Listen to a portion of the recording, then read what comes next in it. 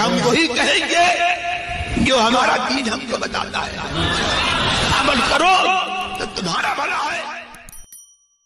दीनी कामों में गैर मुस्लिम का पैसा लगाना कैसा है? दीनी कामों में गैर मुस्लिम का पैसा नहीं लगाना चाहिए, क्योंकि दीनी कामों के वो लोग अहल ही नहीं हैं, लिहाजा उनके पैसों को ऐसी मुक़द्दस महफिलों के अंदर हरगिज़ न लगाया जाए और इससे सख्त परहेज़ किया जाए। वल्लाह ताला